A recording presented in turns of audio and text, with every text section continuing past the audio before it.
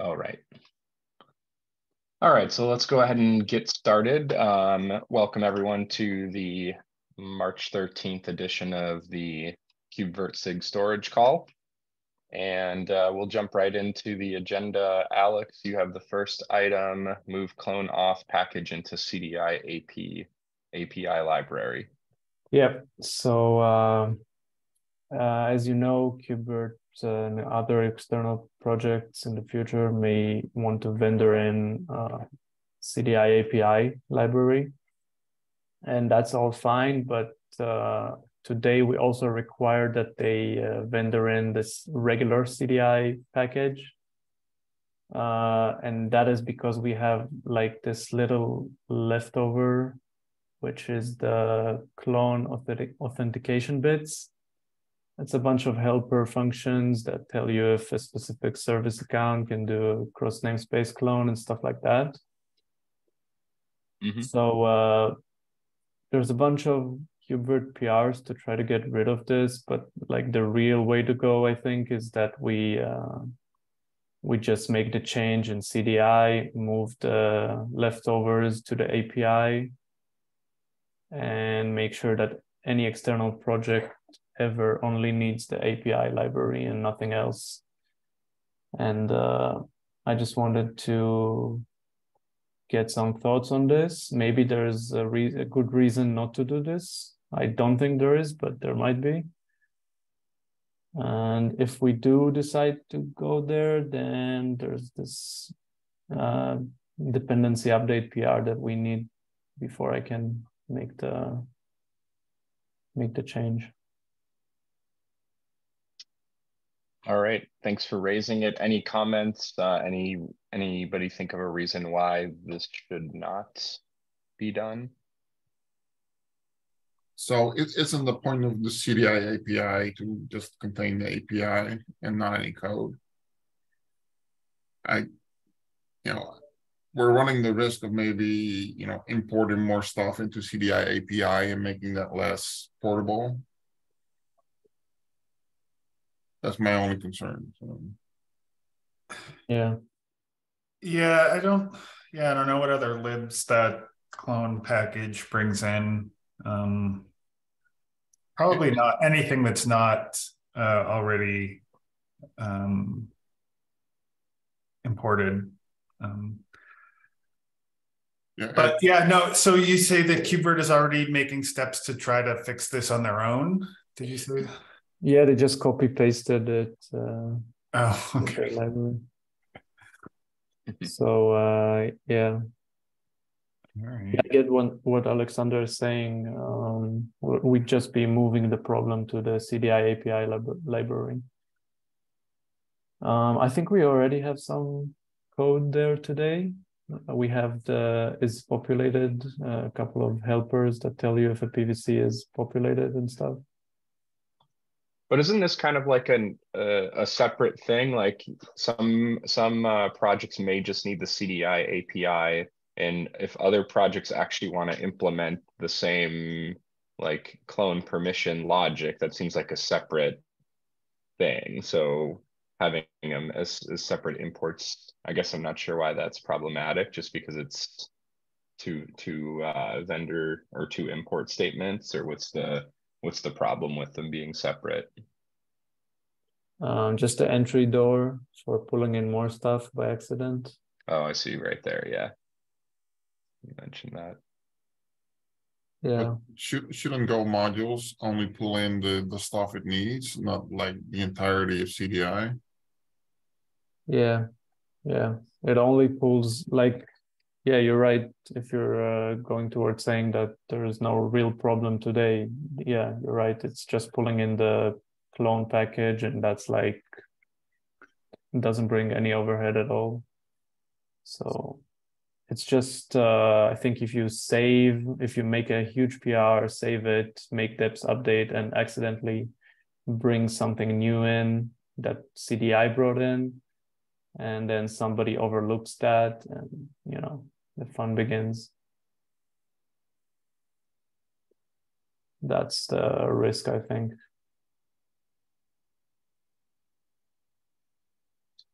and why would that be mitigated if this uh, if this code was in the API library? Yeah, yeah, we'd just be moving the problem to the API library.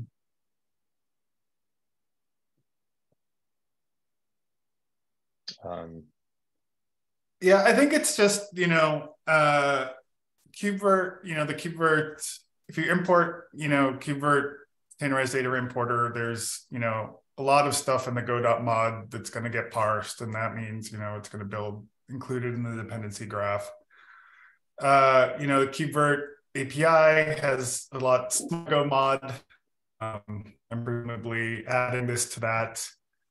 Um, uh, probably won't increase increase it very much. So it's just dependency parsing. Um, it, you know, it may. I think. Uh, I think that importing CDI, we have some um, things in our go.mod that make it so that you have to like explicitly add a replace in your consumer go.mod. I think that's probably some of the objection to it. It, it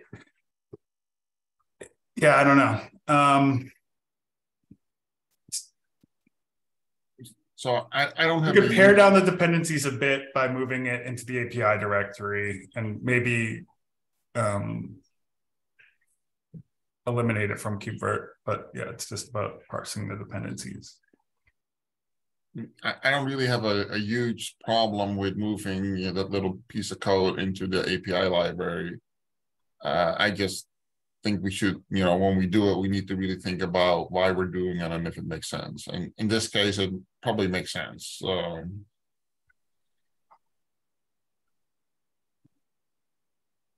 look at All right. Um, so I guess the next steps on this would be um, to further continue this the discussion in the PR. Um, any other comments from anyone on the line right now? All right, so let's move on. Alex, you have the next item as well, enabling clone from Golden Snapshot instead of PVC automatically on storage where it makes sense. Yeah. So uh, this is about, okay, so recently we introduced uh, cloning from a snapshot and the next step about this is to uh, have the data import cron feature capitalize on this. So uh, you would have like this snapshot source and uh, that would be your source for all VM disks and any new VM you make, new VM disk would be cloned from that snapshot. And for, um, where's that? Okay, Ceph will uh, obviously opt into this because with RBD layering, it makes total sense to uh, keep one snapshot and just clone from it. And a couple of questions I had about this is uh, firstly, the storage profile bit. So storage profile seems like the correct place to signal that cloning from a snapshot is scale scales better on certain storage. And I was just struggling with where to put uh, this new configurable. Um, we already have spec clone strategy, but that is more about like the one-to-one clones that happen from PVC to PVC. Um, mm-hmm so yeah, my my alternative suggestion is uh, uh, a new spec field, maybe something along the lines of golden source type, something like that, and uh, the golden source type is snapshot, then you know that uh, it scales better just keeping a snapshot as one source for future clones instead mm-hmm. of PVC. And it could be like a an, an existing uh, kind from the Kubernetes API or something. So that's mm-hmm. nice. Um, Okay, just a couple quick questions. Do we have any links that we can put into the agenda to any uh, existing PRs or anything just to provide context for those who may not have followed this feature uh, closely yet? Yeah, yeah, I'll put So- those in. If you could add that just uh, as a kind of just to help people um, contribute. The second thing is, yeah, this sounds like a you know a classic naming is hard uh, issue, and I just wonder, do we use the term golden anywhere else in the code? I'm not sure that that's a uh, Yeah, no, we it's kind- don't. it's We kind of a casual term. I think what this is actually asking or setting is um, it's really specific to the data import cron controller. So it might be, you know, it's basically how should the data import cron controller create um, or store, what's the format that it's storing the imported images. Okay, Um, so just like being really specific about what it is, um, instead of, you know, kind of. Um, I don't know, that would just be my suggestion is to just try to find something like that. It's, yeah, clone strategy is a, is a. Yeah, we can't like override that or use that in, in any way, because that's like, that's really like one-to-one cloning. yeah. Okay, yeah, that's a good suggestion. That's, it really only applies to the data import cron controller. Okay. I think we'll- uh, just one other comment is I think we'll want to open this up for um, anybody who who happens to know that another particular storage provisioner would prefer this strategy as well. Um, it can definitely be added to, you know, the other storage profiles. Yep, definitely. I was uh, thinking to have like this uh, knowledge uh, storage knowledge map, similarly to how we keep uh, access modes for provisioners. Mhm.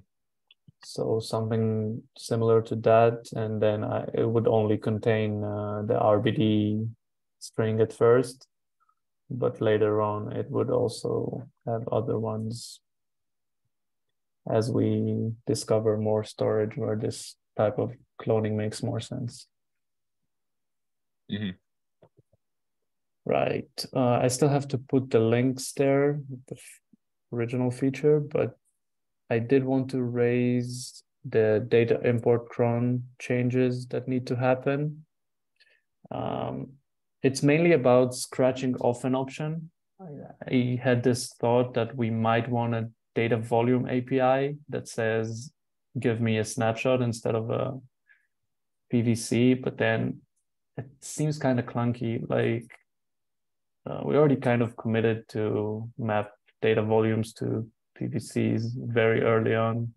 And I, I think it's good that we did that and maybe having this kind of data volume API that says, hey, uh, I want a snapshot in the end. So give me a, don't give me a PVC. That's kind of uh, clunky, but I did want to raise it. So should we be managing the volume snapshot ourselves in the data import cron, or is this kind of data volume API making sense to someone So or I, any other? um, I, I thought we were going to basically mark the data volume if we're doing like a, a snapshot clone to leave the snapshot. And then from there, we can make, you know, new clones from the same snapshot. So in- instead of saying, I want the end result to be a data or a uh, snapshot, just, you know, the end result will be a PVC, but I'm leaving the intermediate snapshot for reuse later. I thought that's what we were doing. Uh, yeah, that was the original idea, but we later scratched it off and we went with uh, just snapshot sources. So somebody is creating their snapshots alone manually or not manually and those are served as a source so there's no uh, smart clone happening. You know, like uh, CDI doesn't create this type of uh, volume snapshot. All right, so essentially for making snapshots, we're not involving CDI, which also makes sense. Just use the Kubernetes API. Yeah. Yep. I think I think it's important to kind of remember um, sort of the evolution of how we're treating data volumes these days, especially in light of the garbage collection and some of the other things that we've done. So data volumes, we're really emphasizing that they're used for provisioning uh, the contents of a PVC and that they're kind of useless after that and that afterwards once the pvc is prepared we should be using the pvc directly. So in light of that or in view of that uh, design decision it doesn't make sense to me to have a dv api that says that we want something that's already been imported to be stored in a certain way um, because that's the consumption side. And so therefore at the consumption side, we want to use um, resources, Kubernetes resources directly. So I think it's more correct for if data import cron decides that it wants to maintain some snapshots instead of uh, PVCs, that it should be doing that on its own. Yeah. Yeah. Okay. Uh, I think that is all for me. I'll just add some links to better capture the discussion here.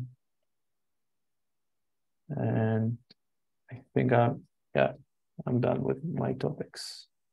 Okay, great. Thanks for raising both of those. Um, so the third major bullet point we have is to triage CDI issues. And so I can jump into that.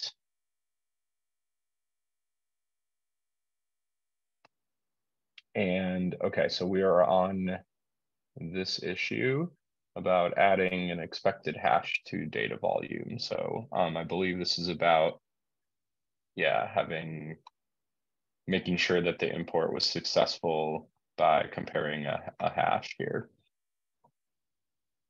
Um, I think my biggest concern about this feature is that uh, we do some manipulation of the image after it's been imported. Um, and therefore, at what phase, I mean, I guess if we if we have a stage where we're downloading the exact uh, content, checking the hash before we start to manipulate it, it could be possible. But since we're doing some like streaming inline conversions, I'm not sure if that's very practical. Yeah, we'd essentially have to always do the download to scratch um, step and then verify after that. Mm-hmm. And I mean, I think we could potentially, like, in the presence of the hash field, that it changes the way that it imports. But um, I do wonder, like, how critical is it to have something like this? It seems like a nice, reasonable feature. Otherwise, well, I think I mean HTTP import is totally insecure without a hash. Um, HTTPS, uh, at least you know there's no you know no man in the middle, um, but you may still want to uh, just uh, validate that it's what you expect it to be. You know, no one changed it on the other server side or something. Mm-hmm. Okay.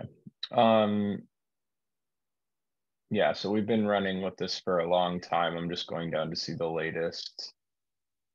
Oh, cool. Um, Eric Blake has a comment here. Merkle hash. Interesting. Okay, so this is a libguestfs um, posting. Okay, so this is interesting. We've got some updates to consider here after a while. Um,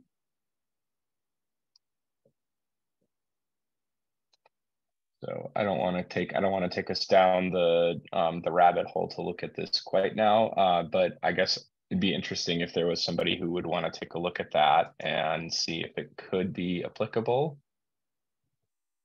and then we can decide maybe if we wanted to further propose uh, that addition.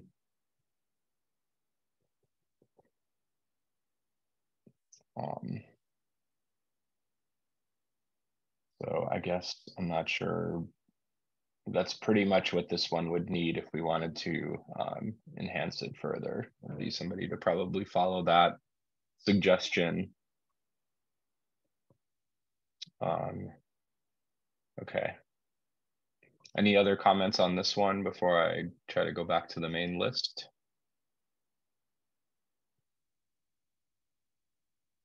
All right. So let's see. Did we start? I'm trying to think, did we start? Um, I'm gonna find it. Are these ordered by anything? And I guess this is the default order. So I'm just kind of trying to go up and find. All right. So here's this. Are we going upwards, right, guys? We didn't talk about the extended yeah. metrics yeah. for importer yeah. pod yet. Okay. Okay, let me, oops, I'm having a hard time with the overlay from, there we go. Okay, expand, extend metrics for importer pod. Let's see what are we looking for. When calling the metrics endpoint of the importer, we only have a percentage of transferred data. It'd be better to have raw values. Okay, so some interesting additional data. Um, Just note that whoever opened the issue, their account is no longer there. That's why it's a ghost. Oh, okay. Yep. But I think this is related to the um, VDDK import. Mm-hmm. Um, and I guess the percentages there are uh, not really useful. If you run into a large block of zeros, it'll skip a bunch of stuff, and sure, normally the percentage will jump and then the estimation is, is incorrect. So, Isn't that a pretty general problem though? Like yeah. when, whenever you're doing like I've never seen a completely smooth progress bar unless it was uh unless it's fake.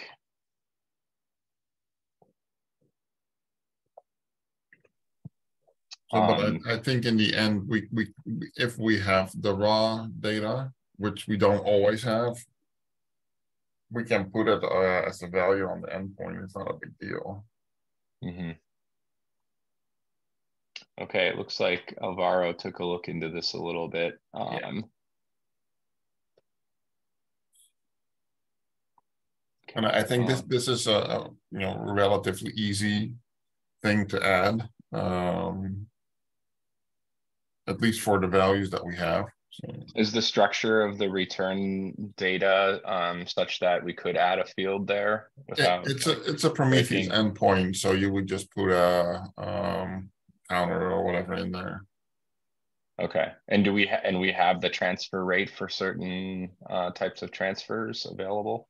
We have a if we're um, so the, the thing is if we're using the QEMU image to do the, the streaming conversion, we don't, but we do have the rate for if we're like saving it to um, a scratch base. You know, we use the Go uh, readers, and we mm-hmm. have a mm-hmm. reader in there that basically counts the amount of bytes that happen or that you know, have been transferred. So from that, we can calculate speeds and things of that nature. Mm. I also wonder how this yeah. factors yeah, it's just the thing with that. That's just that's just part of the operation too. Yeah. Then, then right. we don't factor in transferring from scratch to the target. Yep, the convert phase can be sometimes even longer. Right, and I think that's one of the main reasons we really haven't done anything too much with this because there's multiple steps that have, each have their own transfer rates. So. Mm-hmm. Okay, I'm just going to add a little comment here. Uh, uh,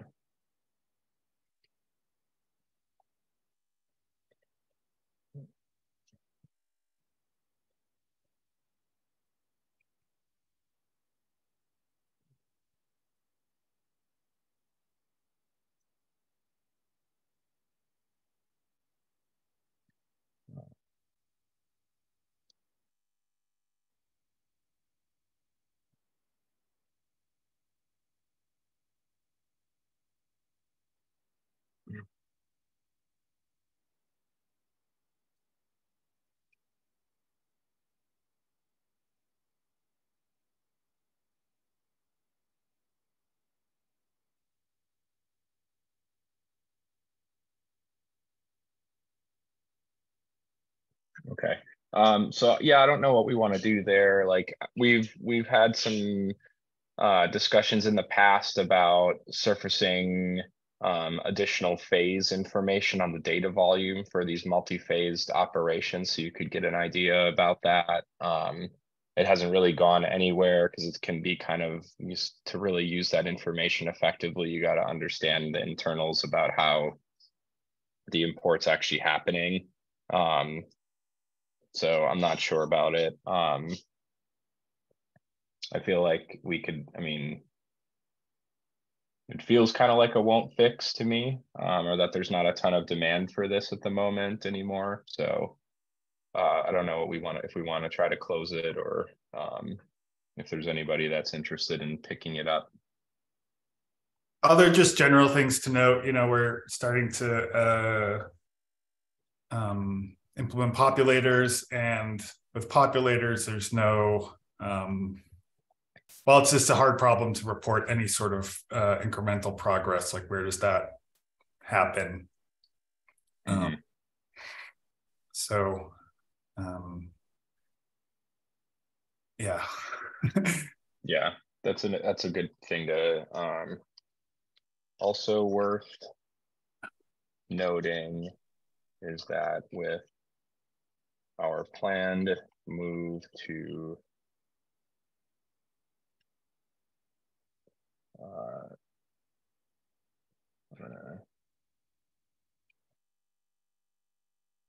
there would no longer be a natural place to record any metrics. So investing in this may not.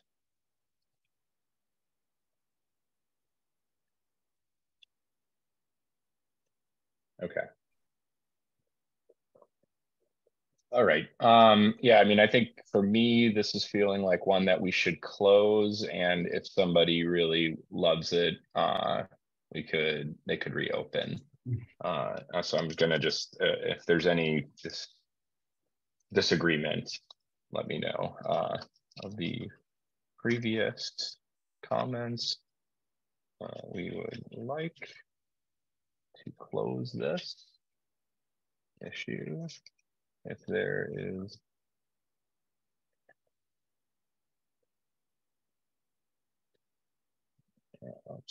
ah, sorry, trying to type as fast as I can. Interest, please reopen.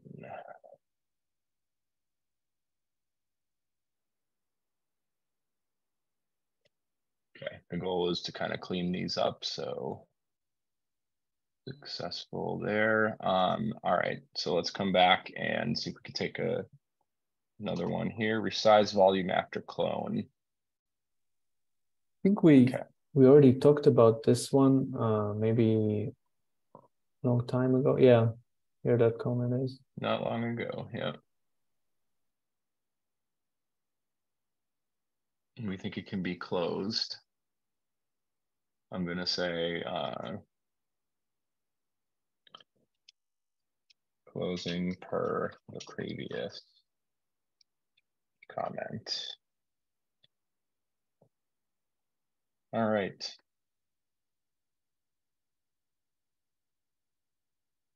Close this one out and let's go to the next one resizing the PVC of OS volume does not reflect in the VM. Okay, this one's not something we can probably really get too involved in, but I'm guessing I'll, I'll read this here. Uh, added the PVC spec, the increased size of the volume, but if I log into the VM, I see the volumes. Yeah, that's because you need to. So I, I know that um, let's see, Maya doesn't appear here anymore, but she did work on a feature where, so there's a piece where we're actually signaling to, um, to QEMU to rescan the volume size when it's changed. So the OS uh, we have like from that perspective, um, the the model of the device is updated.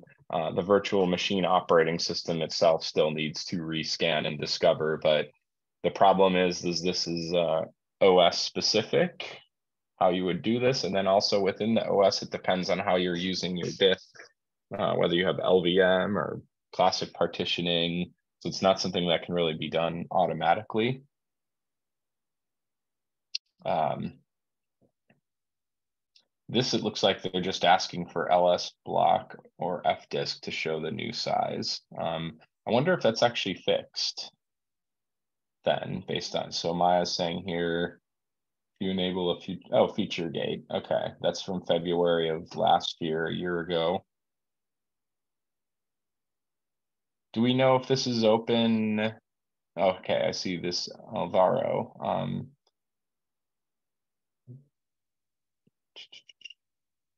Okay. So Alvaro, you said you think this can be closed? Yeah, I think so. The feature, as long as the feature gate's turned on, I think it's resolved then. Um, yeah, because I think when we first introduced this, we didn't have the feature gate on, but it's now been turned on. Okay.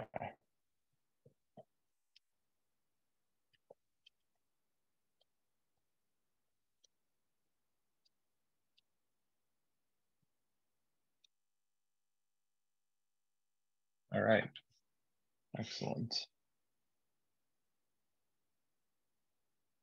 Uh, let's see if we can take tackle another one or two here. Um, no information if storage class can't be detected.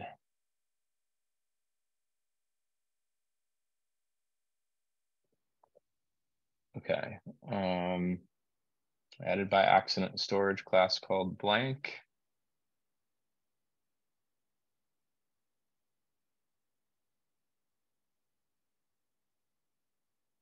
And then we can't retrieve the storage class. The data volume status remained empty. Okay. I'm surprised that, that a blank storage class is even permitted with no name.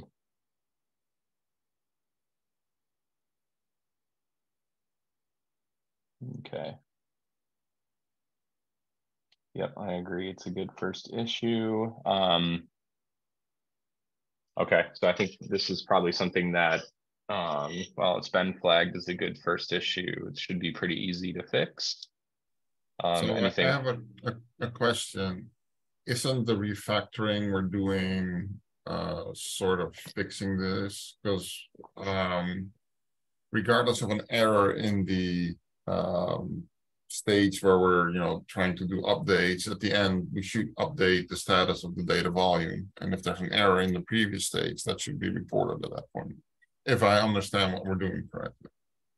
Um, I, I think um, Michael and uh, Arnon should know better, but um, it, it might sort of solve itself just because we're we should be reporting uh, errors better because you know what happens right now is in the reconcile loop we get the error because the storage class cannot be found and we error out and there's you know there's no update of the status at the end. And i think the way we've uh, split it out into the you know the sync and the the uh, status update phase the status update phase always happens.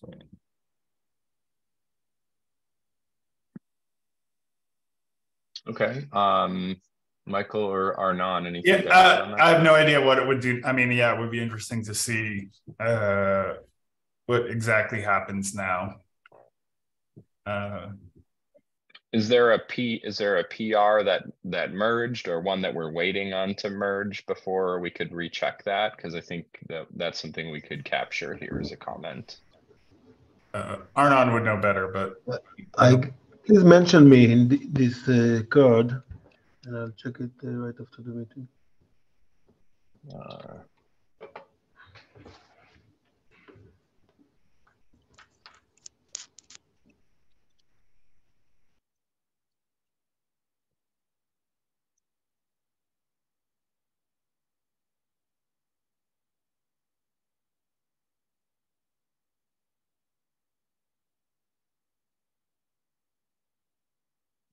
Okay. All right, so I guess that's the follow-up action for this one. I'll close it. We can move on. Um, next is HTTP import Ubuntu server image to data volume is extremely slow.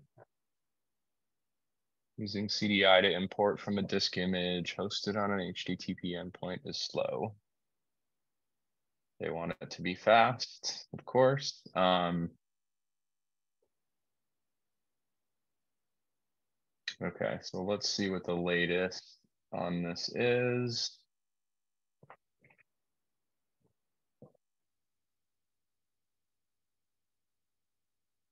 Okay, so we've got some comment from Richard about multi-connection support.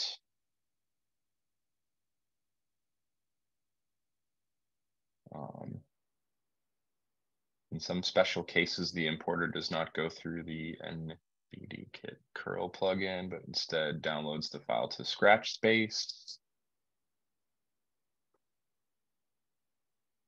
Okay. Yeah, I mean, basically, uh, it in certain cases it is faster to um, just download the file to Scratch Space and then write it to the target, then do the direct uh, write to the target. Yeah. Like significantly faster. Mhm. And, uh, I think Richard spent some time uh, investigating it. Um, and he's, I think, you know, I, I think he's trying, he, he, well, he's the comments there, but uh, I think, Yeah. um, you know, ideally we would like, you know, uh, you know, everything's a trade-off between space and, and, and performance, but, you know, it, it was really certain cases multiple orders of magnitude slower to do the direct conversion. Mhm. So um,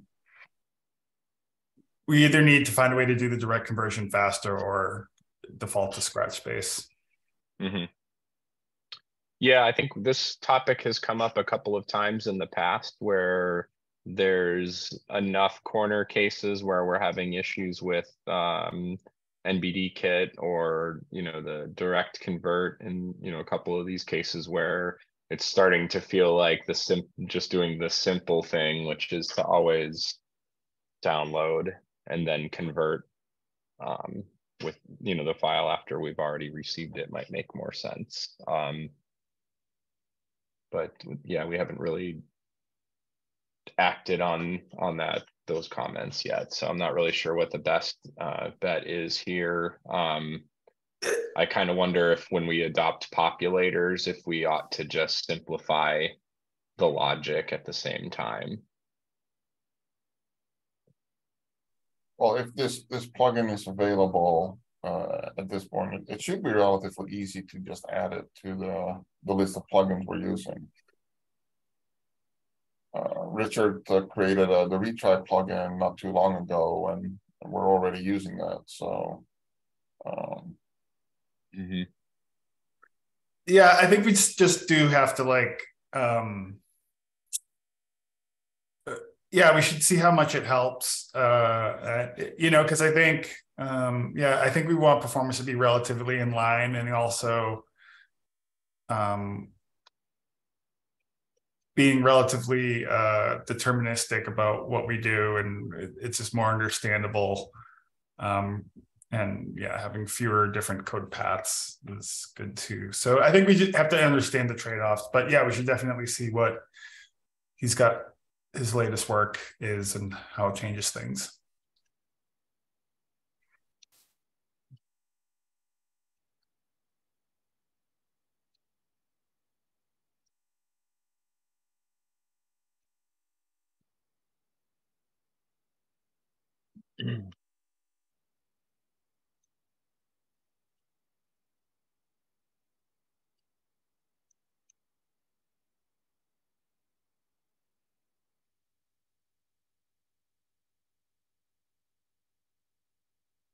Okay, so that's kind of what we talked about. Um, I'm not sure, you know, if we have somebody that wants to take a look at that or not, but it's here for you if you do. Um, let's go on to the next one. Feature request support retained PV as source. Um, didn't we basically solve this recently with uh, static volume annotation? Poss- I mean, it's possible that Michael's new um, annotation would do that. Actually. Let's double check Well, uh, I think. Uh, well, so the annotation that we added will only work if the P, I think what this is saying is, you know, we could create, uh, when we create the PVC, we would set the vo- the volume name. We don't do that um, now, but we look for basically. I think this could work under certain circumstances. If the PV has the claim ref set to the name to the appropriate name, it would work. Mhm.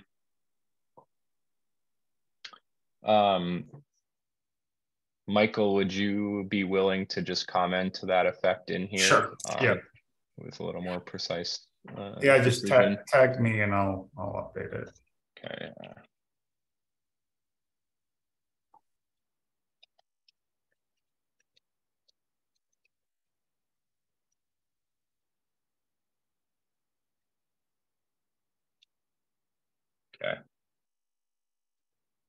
All right, cool. Uh, let's try to tackle one more, I think, and we've made some pretty good progress today, so um, that's good. So let's do support read write once pod for data volumes. Okay, it's coming from David Vossel. There's a new PVC access mode. Um, okay. So he's suggesting a possible fix here, I guess, and uh, it's up to us to decide, I guess, what we want to do. Um, no further comments since that initial report. Oh, we have from Alex last year. Um, Yeah, um, it it's I don't think it's as straightforward. I think me and Michael discussed it briefly, and uh, the first thing we thought about was the expansion pod. Uh, Hmm. That might run into issues, mhm. but uh, maybe we Ah, I think this is still alpha. Okay, it was alpha when I wrote my comment, so yeah. that would be weird. Also, it's not gonna work with probably the hot plug pod, like the attacher pod. Um, and also read write once just generally isn't something that, uh, for KubeVirt purposes that we're, we recommend anyway, because it's, uh, not enabling live migration, so I'm just not, um, not sure why we would necessarily, like, why it's super high priority to support this. Yeah, I, I wonder. Yeah, exactly. I wonder what's the backing uh, motivation for David that opened the issue. It might be because I'm wondering if for, well, no, I guess for, um. Yeah, I'm not sure, um, what that would be, so. I guess we should see if it's, um.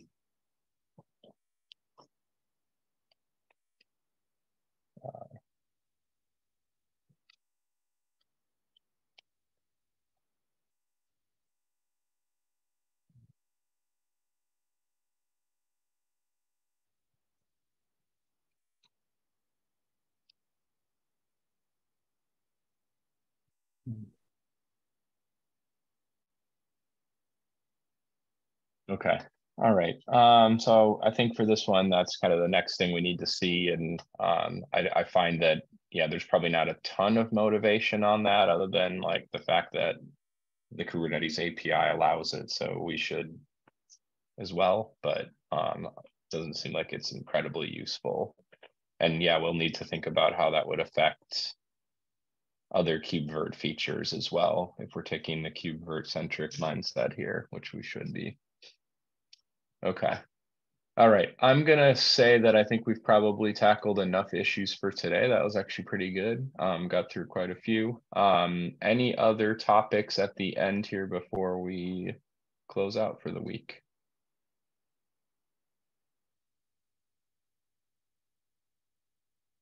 All right, sounds like not. Um, thanks everybody for joining and we'll catch you at the next one in two weeks. Bye. Bye-bye. Thanks. Bye bye. Bye.